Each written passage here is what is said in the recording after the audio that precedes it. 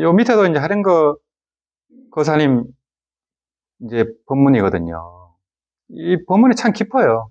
그래서 한번 이제 읽어보겠습니다. 종문 임류 하야 반문 자성이라 들음으로써 성품의 흐름에 들어가서 듣는 게 그렇게 중요하거든요. 그래서 아미탑을 소리 듣는 게 가장 중요합니다. 그래갖고 이제 이 돌이켜 듣는다는 거죠. 자성을 듣는다는 거죠. 듣는 순간 자성을 확인하는 거예요. 자성을 듣는 순간 깨닫는 거예요. 그걸 이제 자성을 듣는다 이렇게 표현하는 겁니다. 법문은 무량하나 요점은 마음을 밝히는데 있네. 이게 명심이거든요. 명심 견성이잖아요. 공이 넣고 들어가기 쉬운 것은 연불만한 것이 없구나. 연불의 진실한 가르침에 채는 청정하게 소리를 듣는 데 있으니 듣는 게 제일 중요합니다. 연물 삼매 이르려고 하면 먼저 이건을 닦아야 하네. 그래서 이건 원통이거든요.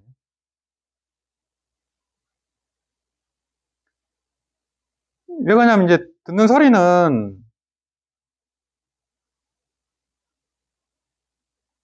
듣는 소리는 벽이 막혀도 들리잖아요. 잠잘 때도 들리고.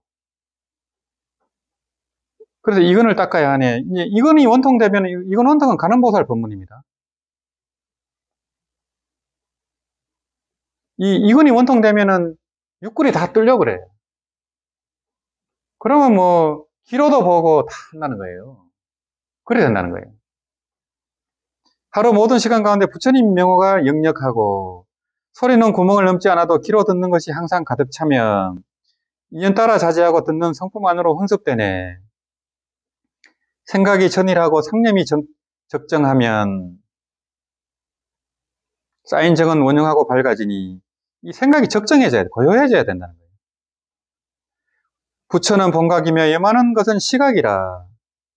이 우리 성품 자리는 본각이거든요. 요거는 이제 깨달아 가는 거고요. 현상계에서 수행을 통해 깨달아 가는 게 시각이에요. 근데 이 본, 본각과 시각은 둘이 아닙니다. 그래서 염으로서 들음을 열고 생각함으로써 들음을 열고 들음으로써 염을 닦으면 듣는 것이 바로 염하는 것이며 아미타불을 생각하는 게 바로 듣는 거라는 거예요. 염하는 것이 듣는 곳에 이루어져 염이 있으면 반드시 듣게 되며 들음이 없으면 염함이 아니네. 들을 때 우리가 아미, 아미타불을 염하게 되잖아요. 그게 자동적으로 된다는 거예요. 그 염함이 있어도 염이 씌어지고 들음이 없어도 들음이 다하네. 그래서 들어도 듣는 것 같고 그런 경제가 된다는 거예요. 저절로. 들음으로써 성품의 흐름에 들어가서 돌이켜 자성을 들여야 하네. 오직 소리 소리에 자기를 일깨우면 그래 아미탑을 아미탑을 하는 순간 자성이 확인이 되잖아요. 그 자성 자리에서 소리가 나오는 게 확인이 되잖아요. 그래서 소리 소리 자기를 깨운다 하거든요. 바로 생각 생각이 항상 깨달으며 그러면 뭐 염물하는 순간순간에 바로바로 깨달음이죠. 이게 항상 자기를 불렀기에 항상 자기 한다는 거거든요. 그래서 이제 전도 망상을 따르지 않으면 연보라는 성은 밖의 경계만 따르지만 않으면 이것이 바로 무명을 뒤엎어 깨뜨리는 것이네. 처음에는 번뇌를 등지고 깨달음을 향하나 계속 나아가면 시각이 본각과 합해지며 오래되면 시각과 본각도 서로 없어져서 자연이 능소를 모두 잊게 되네. 이렇게 되면 나중에는 주관과 객관까지 다 이제 사라, 사라지면은 육근, 육진, 육식이 다, 다 방아차게 되는 경지거든요. 이 자리가 바로 상두신심의 자리예요.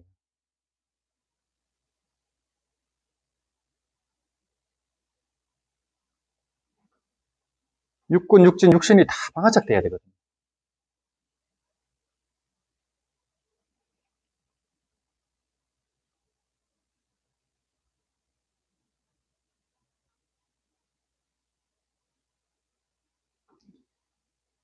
이, 이 신심 탈락이라는 말은 일본의 선사 스님이 쓴 말인데 몸과 마음이 전부 다 몸과 마음에서 다 벗어나야 된다. 이게 이제 육군, 육진, 육신이 다 바가착되는 같은 뜻이거든요. 몸과 마음에서부터 다 벗어나 버려야 됩니다. 생각에서부터 다 벗어나 버리고 주간과 객관에서 다 벗어 여기가 아공이잖아요.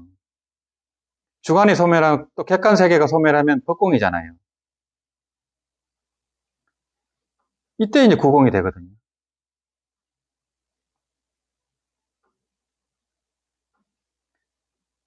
공한 것도 공한 경제가 되고 주관과 객관이 전부 공한 그런 상태가 된다는 거예요. 그래서 이제 이런 법문을 한번 이제 봤고요.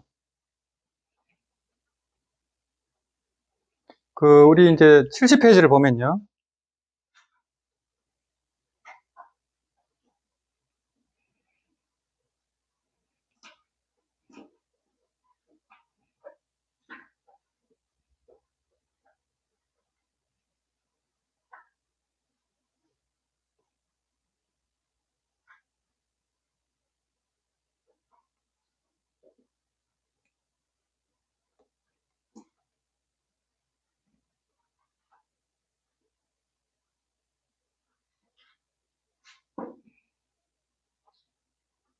요 70페이지입니다. 그걸 같이 읽어보면서 한번 공부하겠습니다.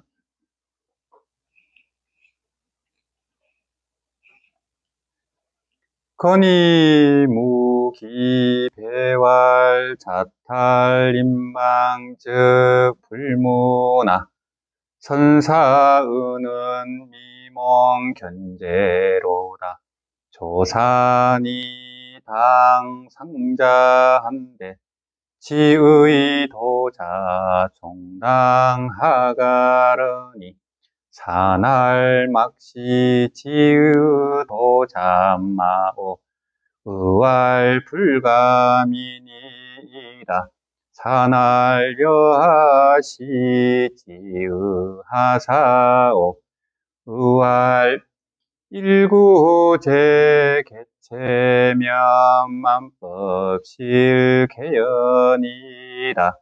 산알여하시 지의하용고 의활락하더니 편하거라. 산알 여지해 입마거나 불에 입마래로구나.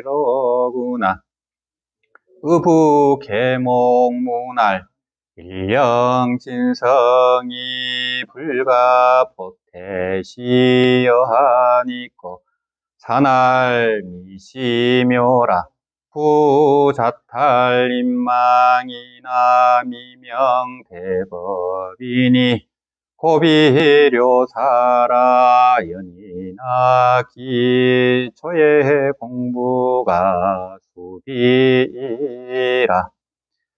예, 이제 여기서는 이제 그 현태 수자가 생사 자체했잖아요. 향 피울 시간 안에 그냥 몸을 벗어버렸잖아요.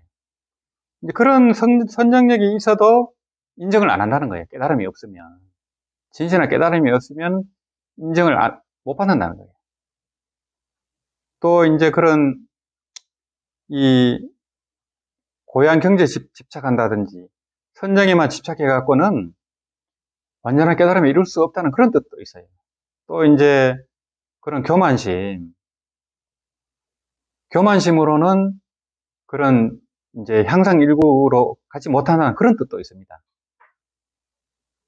이제 요, 여기서는 이제 지의도자 얘기가 나오거든요. 지우도자도 이 이제 조산 본적 스님 법문을 듣고 바로 몸을 벗어버려요. 근데 죽었다가 다시 또 깨어납니다. 이 스님은 한끗 위입니다. 한끗 위지만은 그 스님 법문을 듣고 이제 제대로 또 이제 생사사지 하게 되거든요. 이, 이 스님은 그 스님 법문을 듣고 자기가 받아들였잖아요. 고집을 안 피우고. 그게 차이가 있어요. 그 내용을 보시면은 그러자 도건 스님이 현태 수자의 등을 어루만지며 이렇게 단식했습니다. 안전체로 해탈하거나 선체로 입적하는 것이야 물론 훌륭한 일이 아닐 수 없지만 이게 이제 자탈 인망, 인망이거든요.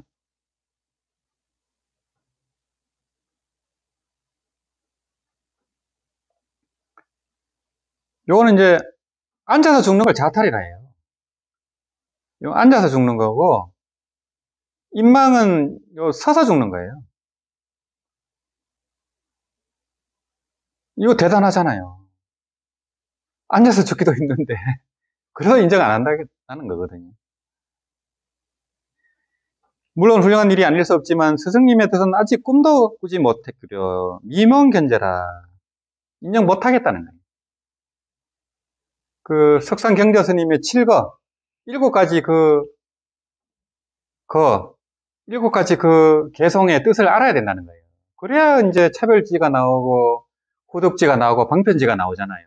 그런 것도 없이 그냥 그, 무분별지, 근본지만 깨쳐갖고는 완전하지가 않다는 거예요. 근본지만 깨쳐갖고는 중생제도를 할 수가 없잖아요. 대자 대비가 나올 수가 없잖아요. 그런 뜻입니다. 이제 그런 얘기를 안 해주고, 뭐, 생사 자체해도 이제 못 깨치면 아무 소용없다. 그렇게만 해, 해갖고는 조금, 이게 좀 명쾌하지가 않잖아요. 그 대부분 그렇게만 얘기하거든요.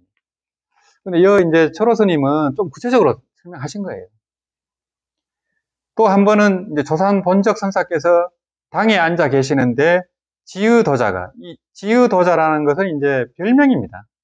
항상 종이 옷을 입고 다녔다는 거예요. 도자라는 것은 도 닦는 사람이라는 뜻이고 이 종이 옷을 입고 다녔겠죠. 그 자기 딴에는 뭔가 뜻이 있었을 거 아니에요, 그죠? 그렇게 하니까 이제 그때 이를 본 조산 본적 큰 스님께서 이렇게 말했습니다. 아니 지의도자 아니시오 하니까 그러자 지의도자는 예 항성합니다라고 대답했습니다. 이에 이제 조산 본적 에서 다시 물었습니다. 이거는 이때부터는 선문답입니다. 대체 무엇이 종이옷 속의 일이요? 종이옷이 뜻하는 의미는 무엇이요? 이렇게 물었다는 겁니다. 그러자 지유도자가 답변했습니다. 한 겹 가죽옷을 몸에 걸쳤다 면 모든 법이 죄다 이러합니다. 그러니까 이제 이 실상에서 한상이 벌어지잖아요. 그게 이제 옷, 옷 걸친 거나 마찬가지라는 거죠. 육신이든 우리가 경험하는 모든 세계든 그렇다는 거예요. 종이옷, 종이옷처럼 허망하다는 거죠. 진짜가 아니라는 그런 뜻도 있고 다시 조상께서 물으셨습니다. 그러면 대체 종이옷 속에서 무엇을 하고 있어? 하니까 종이옷 속은 이제 뭐 자상이라고도 할 수 있고 그렇겠죠. 하니까 좋습니다 하고 말을 받더니 그 자리에서 곧 입적해 버렸다는 거예요. 자기는 뭐 여여, 여여하다 이런 뜻이겠죠. 종교 속의 이름 자성이 있잖아요. 그래 조산 스님께서 다시 얘기했습니다. 그대는 그렇게 갈줄 말하지 이렇게 올 줄은 모르는구나 이렇게 얘기했다는 거예요. 왜냐하면 이제 그 스님이 깨, 깨닫고 저렇게 죽는 건지 이 큰 스님들은 보면 알아요. 저게 고집으로 저러는 건지 지가 그게 다 깨친 줄 알고 저러는 건지 느낌이 있거든요. 이게 그 표정이라든지 행동을 보면 다 알잖아요. 저게 아직 못 깨쳤는데 저게 건망을 떠는 건지 보면 알거든요. 그래서 이제 이 스님이, 조선 본적 스님이 보기에는 이거는 죽일 줄 알았지, 죽을 줄 알았지, 살릴 줄 모르는 거예요. 살할 자세가 안 된 거예요. 그러니까 살불 살조만 하라, 할 줄 알았지, 할불 할 조가 안 된 거예요. 버릴 줄 알았지. 너무 가격하잖아요. 할 일도 많은데 죽어버리면 어떡해. 그래서 이제 갈 줄만 알았지 올 줄을 모른다는 거예요. 갈 줄만 안다는 건 이거는 뭐 살이죠. 올 줄은 이게 할이겠죠. 그 뭐 깨쳐도 뭐 깨쳤다고 되는 게 아니잖아요. 대자 대비를 해갖고 중생구절을 해야 그거 진짜지. 그렇잖아요. 지 혼자 깨쳐도 뭐 할 건데. 입전 수술을 해야죠. 제자, 제작거리에 자비의 손을 들이워야 최, 최후의 거지. 그런 얘기거든요. 그러자 지유 도자는 다시 눈을 크게 뜨고는 물었으면 죽었다가 살아난 겁니다. 그, 이, 이 지유 도자 스님도 대단한 경지 아니에요. 생사 자체가 된 거잖아요. 지 마음대로 죽었다 살았다 하잖아요. 굉장한 거죠, 사실은. 생사 자체 그 물었다는 거예요. 하나의 신령스러운 진실한 성품이 아기보를 빌리지 않을 때는 어떠합니까? 일령 진성이 불가 포태시는 여한 있고 이렇게 얘기했다는 거예요. 이 자기는 지- 진성을 깨쳤다는 거죠. 우리는 자기는 이제 뭐 다시 사람 뭐 받을 필요가 없다 이런 뜻인 것 같아요. 이렇게 할 때는 어떻습니까? 자기 딴에는 그래도 뭐 깨쳐가지고 나는 사람 뭐 받을 필요가 없다 이렇게 얘기하는 거잖아요. 이런 경제는 어떻습니까? 이렇게 자기 딴에는 자랑하는 거죠. 왜냐하면 아, 죽었다 살았다도 마음대로 하는데 대단하죠. 그러니까 이제 자기 딴에는 뭐 대단한 경제라고 얘기하는데 조단스니까 조단 스님이 인정 안 합니다. 실망스럽게 대답했다는 거예요. 아직 미묘한 경제는 이르지 못하였어. 위시면이라 이렇게 했다는 거예요. 왜 그렇 왜 그렇게 했어요? 최후의 경제는 아까 얘기했잖아요. 입전 스수가 돼야 되죠. 그 중생계로 나아가서 중생 구제까지 할 그게 돼야 되거든요. 아직 예수님이 그까지는 안 된 거예요. 그거를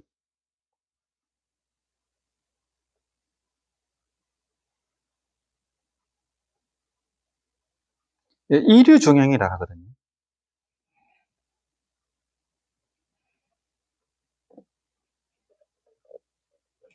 그 이류라는 것은 이제 뭐 여러 가지 종류가 있잖아요. 개돼지도 될 수도 있고 사람도 될 수 있고 그런데 들어가서 이거는 자비행입니다. 보현행일 수도 있고요. 그리고 그 큰 산사님 중에서는 돼지로 태어난 적도 있어요. 거기 돼지 배를 갈라 보니까 그 스님 이름이 적혀 있는 거예요. 그런 적도 있어요. 근데 이게 굉장히 위험하죠. 왜 그러냐면은 아무리 도가 높아도 이 팔찌보살 이상이 안 되면 돼지 몸속에 들어갔을 때 그게 자제하기가 힘들 수가 있어요. 그게 음력이 워낙 클 수가 있기 때문에 그러면 자칫하면 돼지로 한 몇 생을 살 수도 있잖아요. 굉장히 위험한 저거죠. 그거는 뭐 팔찌보살 굳이 십지가 돼야 이제 그 정도 되게 되지. 그래 아직까지는 이 지유도자는 그 이 사바 세계를 벗어날 줄 알았지 사바 세계에 들어가지고 중생구제할 그런 보리심이라든지 그게 아직 부족한 겁니다. 그런 동체 대비심이 아직 발현이 안 된 거예요. 아직 완전한 깨달음이 아닙니다. 완전한 깨달음은 동체 대비심이 발현돼야 돼요. 그게 안 되면 완전한 깨달음이 아니에요. 그래서 이제 이 조선 본적 스님은 실망하고서 아직 미묘하지 않다 이렇게 얘기하거든요. 그래서 무릇 안전체로 해탈하거나 선체로 입장했지만 자탈을 입망했지만은 아직 큰 법, 위대한 진리를 흔히 밝히지 못했으니 큰 일을 끝마친 것은 결코 아닙니다. 그러나 수행하여 이런 경지에 이를 수 있는 것은 물론 그리 간단하고 쉬운 일이 아닙니다. 근데 극락세계 가버리면 확실하잖아요. 거기서는 뭐 거기서 그냥 성불해도 되고 또 사바 세계로 다시 와도 되고 다 되니까요. 거기서는 또 거기서 팔찌보살 이상 거기서 무생고빈을 증득하고 힘이 생기면은 뭐 대시로 오든 뭐로 오든 아무 상관없죠. 그 보살님들이 이제 그런 축생으로도 와요. 사람으로만 오는 게 아니고. 그래서 이제 이 사라리 자제한 경지를 지유도자는 못 보여줬습니다. 이 살불살조만 알았지 할불 할조가 안 된 거예요. 이제 그런 이제 도리를 설했고요.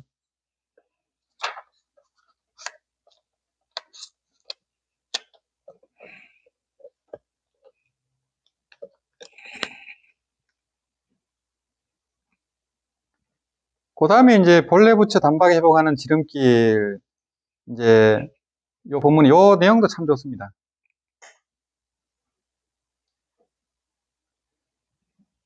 원래 실체가 없이 텅 빈 허망한 마음을 끊어버리고, 이건 이제 망심이겠죠. 이건 망심입니다. 망심을 끊어버리고, 본래는 진실한 참마음을 깨달아 알면, 이건 진심입니다.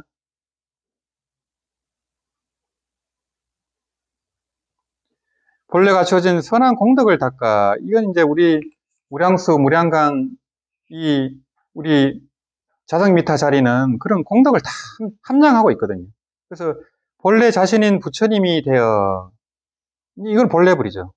본각이기도 하고요.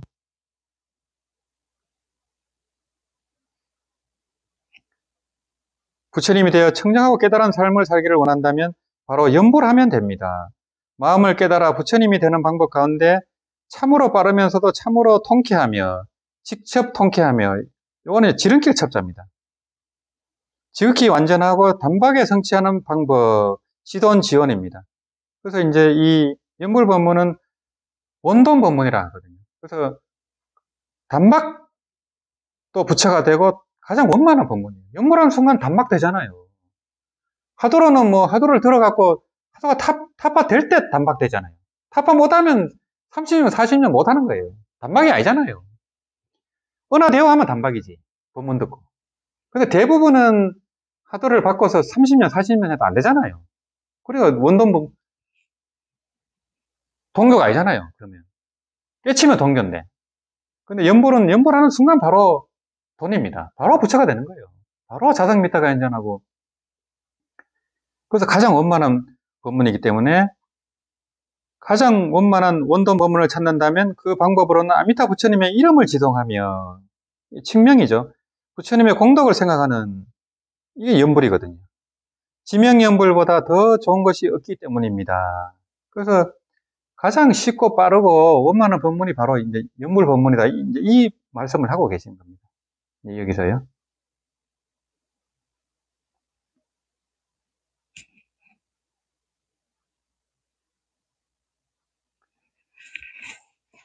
그, 그래서 이제 측명연불에 이제 뭐, 신혼행은 뭐 여러 번 말씀드렸고, 그 부처님과 정토법문에 대한 지극한 믿음, 믿음이 정말 중요하거든요.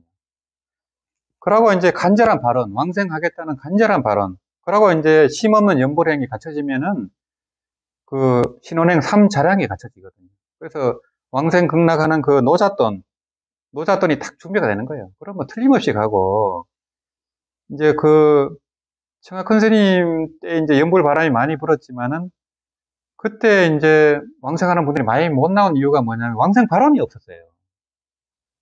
엄청 열심히 하는데 명신 견성을 목표로 하다 보니까 왕생 극락해야지 하는 발언이 약했던 거예요. 이게. 또, 저, 그, 청학권 스님도 말년에 이제 그 강연사에서 매살 법문을 하셨거든요. 온몸에 힘을 짜내 갖고 법문을 하셨는데, 그때 좀 하셨지. 그전에는 그 왕생 극락 법문을 많이는 못 하셨거든요. 그래서 이제 그러다 보니까 왕생 발언이 없다 보니까 왕생을 못 한 거예요. 연불은 엄청 열심히 하셨는데, 다들. 그게 굉장히 안타까운 점이고, 또 이제 무량성의 법문이라든지 그런 법문을 좀 많이 하셨으면 좋았는데, 그런 아쉬움이 있죠. 이제 그,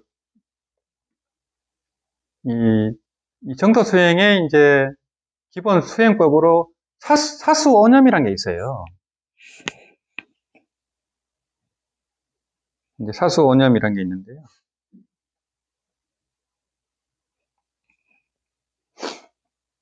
이 이제 세친보살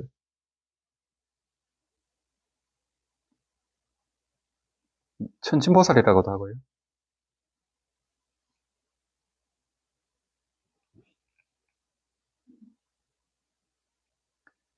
세친보살의 이제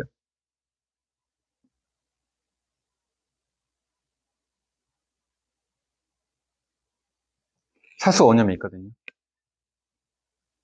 그래, 이것이 이제 네 가지 닦는 방법이 있고 다섯 가지 염하는 방법이 있어요. 그래서 이제 우리가 이제 그 정수처벼 우리가 이제 체라정리할 때 이제 자, 주 독경한 게 정수처벼잖아요.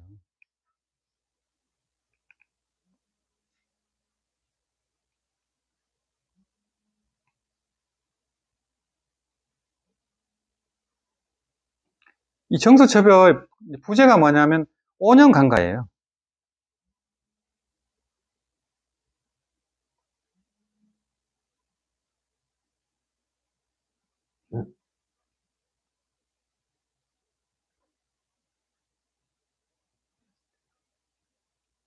이 연보람에 있어서 다섯 가지 간단한 이 가세라는 그런 뜻이거든요. 이게 5년 간가가. 이 정수처별을 독경하면서 절하면서 연보해버리면 이 다섯 가지 염하는 것이 저절로 이루어진다는 이런 뜻이에요. 이 정수처별가. 그래서 그, 그걸 독경하는 순간에 이제 다섯 가지 수행이 저절로 돼버리거든요. 이거는 뭐, 항상 말씀드렸지만은 일단은 이제 정수첩에 할 때 보면 나무아미탑을 세 번 하면서 한 번 절하거든요. 그게 예, 예배예요. 그게 첫 번째 예배가 되고요. 두 번째는 이 찬탄이 하잖아요. 항상 아미타불을 하고 극락보살하고 막 쭉 찬탄을 하잖아요. 서가모니 불도 찬탄하고. 또 찬탄이 되고요. 연보라는 순간 또 찬탄이 되고, 그러다 또 발언이 돼요. 이래 보면은 이제 그, 거기서 극락왕생을 다 발언하잖아요. 예배, 찬탄, 발언, 그 다음에 간상이에요. 여기는 관찰이라고도 하고요. 우리가 극락세계가 어떻다 하고 막 묘사가 돼 있잖아요. 그걸 간상을 하고, 은염으로 간상, 간상을 하거든요. 이미지네이션을 해야 우리가 이제 극락에 갈 확률이 높아지거든요. 그래서 이제 그 간모량 속경 보면은 칼라로 그림을 다 그려놨잖아요. 그 간상하라고 그렇게 한 거예요. 그래야 이제 좀 구체적으로 상상이 되니까. 그래서 정토 오경 일론 보면 간모량 소경에는 칼라 그림을 넣어놨어요. 일부러. 그 부분만. 그 옛날 우리나라에서 나온 책들을 보면은 이제 선으로 흑백으로 돼 있어요. 근데 이제 요즘 나오는 중국에서 나오는 책들은 칼라로 간모량 소경은 칼라로 웬만하면 간상을 하라는 거예요. 그 다음에 이제 다섯 번째는 해양입니다. 우리가 이제 뭐 국락에 가가지고 내 혼자 뭐 행복하고 즐거우려고 가는 게 아니잖아요. 발버리심을 하기 때문에 내가 왕생 성불한 다음에 제도 중생하겠다는 그 발언심이 있어야 돼. 해양 발언심이. 그래야 더 그게 커지잖아요. 마음이. 그래야 그 마음이 대심이 되고 이 버리심이 발현되거든요. 불교는 버리심이 정말 중요합니다. 버리심은 자비심을 바탕으로 하잖아요. 부처의 경제는 동체 대비의 경제거든요. 동체 대비가 아니면 완전한 깨달음이 아니에요. 그걸로 딱 증명하면 됩니다. 저 사람이 진짜 완전 완벽히 깨쳤는지 보면은. 그래서 이제 이 사수 오념할 때 오념은 이제 이겁니다. 예배, 찬탄, 발언, 관찰, 해양 이걸 이제 오념이라 해요. 이거는 이제 우리가 뭐 연불할 때 저절로 이렇게 된다는 거예요. 항상. 뭐 연불하며 절할 때 저, 절로 이게 되니까요. 그런 걸 항상 예배, 찬탄, 발언, 간상, 해양을 항상 기도하고 연불할 때 이제 가지라는 거고 이, 이거는 물론 이제 세친보살이 왕생론에서 다 이제 강조를 하신 거예요. 그러고 이제 사수가 있거든요. 이제 사수는 이제 뭐, 이제 간간히 이제 얘기가 되는데,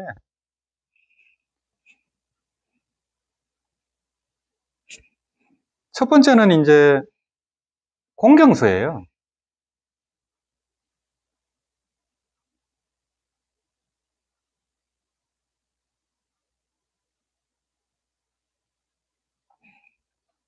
이거는 뭐 정토 법문이라든지 아미타 부처님이라든지 극락보살이라든지 극락팔대보살이라든지 이분들에 대한 공경심을 갖고 닦는다는 거예요. 공경심. 공경수거든요. 정토 법문하고 이제 극락 불보살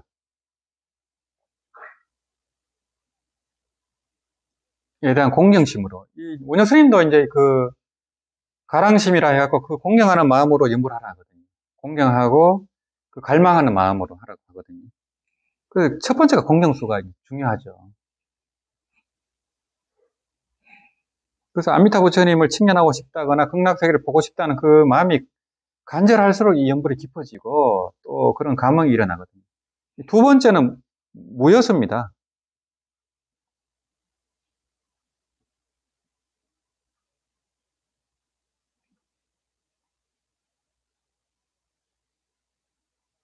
이, 이 무여서는 이제 말하자면 정토 법문하고 아미타 연불 외에는 다른 거는 하지 말라는 거예요. 정토 경전이라든지 정토 아미타 연물만 하고 다른 거는 왜 가능하면 하지 말라는 거예요. 이제 정토 법문 그리고 아미타 연불 연불 외에는 이제 뒤섞지 말라는 거예요.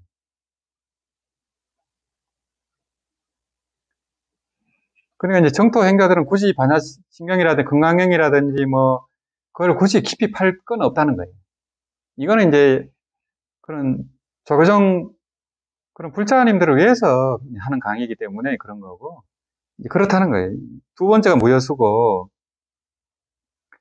세 번째는 무관수입니다.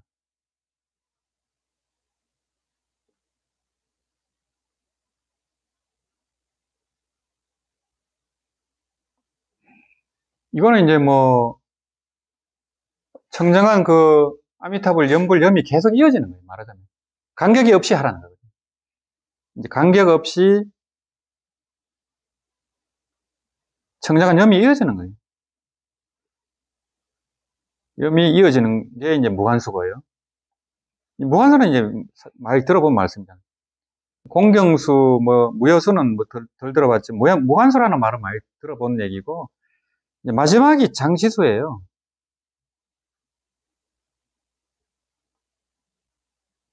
말 그대로 이제 뭐 오랫동안 하라는 거. 죽을 때까지 하라는 거. 이거는 생명을 마칠 때까지 죽을 때까지. 근데 이게 죽을 때까지가 아니고요. 플러스 극락 가서도 해야 돼요. 이게 그러니까 등각 보살 때까지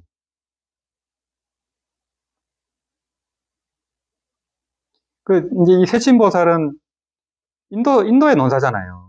바수반도라는 스님인데, 유식, 유식하게 이제 조사 스님이거든요. 그 형님이 무착 스님이고, 이복 동생이고,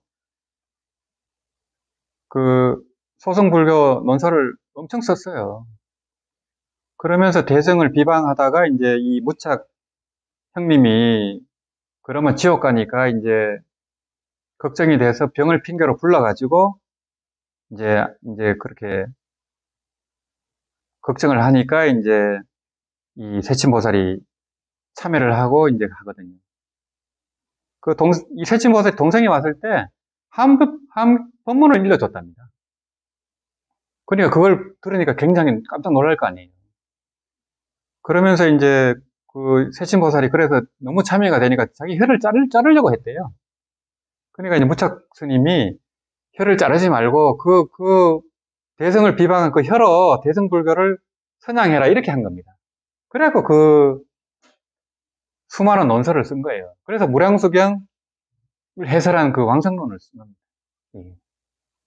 그, 그 전화위복이 됐고 굉장하죠. 그래서 이제 이 세친부설의 대표작이 바로 유식 30송입니다. 유식의 이제 아버지예요, 사실은. 이제 그거를 이제 해설한 책, 책이 바로 성유식론. 그 유식 공부하는 논사들이 10명의 그 대가들이 쓴 책이 성유식론이고요. 또 유명한 유식 결혼서는 대승, 백, 대승 백법 명문, 명문론이라는 논서가 있습니다. 유식의 중요한 저건데 이제 송찬호 교수님이 대승 백 법 명문론을 강의를 꽤 하셨어요. 그 긴 글은 아니지만 어려워요, 되게. 그래서 그거를 강의를 하시고 그 강의 테이프를 그 제자 스님이 갖고 있어요. 그걸 또 풀어, 풀었는데 그래서 그것도 출판하면 참 좋겠다라는 생각 갖고 있어요. 이 유식, 유식을 이제 강의를 하셨죠. 송찬희 교수님. 그 송찬희 교수님은 연부를 해서 왕생하셨지만은 선이면 선, 뭐, 유식이면 유식, 제일 깊은 건 다 했어요. 유식은 대승 백 법 명문론을 해야 되거든요. 근데 강의할 분이 없어요, 우리나라에. 그 정도로 그 한국 교학을 보시면 알아요. 조론도 송찬호 교수님이 처음 했잖아요. 아무도 못했습니다. 그 수많은 그 선어록을 송찬호 교수님이 다 해설했어요. 주석까지. 짜잔한 주석까지 다 하시고, 그 백, 벽암록, 벽암록을 무려 3년에 걸쳐서 그 3주까지 다 강의했어요. 스님들 한 명도 못했습니다. 스님들은 본문만 다 강의를 하셨지, 그 정도로 그 실력이 대단하신 거예요, 송찬호 교수님. 그 안목이 터지지 않으면 절대 강의 못 합니다, 선호록은. 그 유시까지 이렇게 다 하셨고, 이제 그 암에 걸리시고는 이제 밀양하고 지리산 토굴에서 연물만 했어요. 하고 왕생론을 강의를 마지막으로 하셨어요. 그게 이제 다는 못 하시고 가셨죠. 그게 이제 테이프로는 있어요.